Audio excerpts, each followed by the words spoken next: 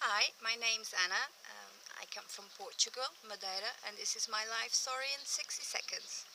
Um, I moved to the UK a few months ago, trying to settle a new life, new beginning with my daughter.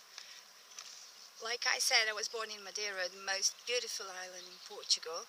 I have lots of family still there, and my heart is really there like a hobby, I like everything that's uh, pets related, dogs, cats, horses, and I would love to settle a new business regarding that.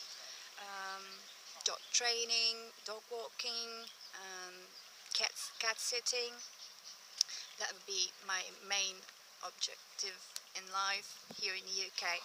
Um, I also like doing some earrings and necklaces. I work with Swarovski crystals and I love doing everything new for brides and well everything related with earrings and necklaces. I'm sorry Ana, this is the end of your life story.